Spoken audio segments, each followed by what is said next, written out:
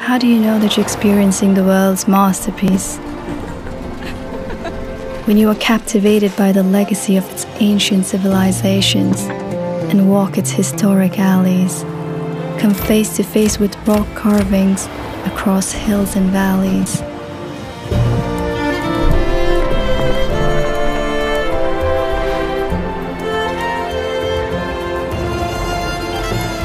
Appreciate creativity.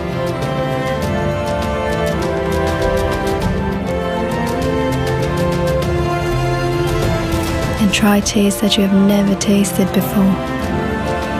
You leave a piece of your heart in its oasis and take home cherished memories, live the world's masterpiece.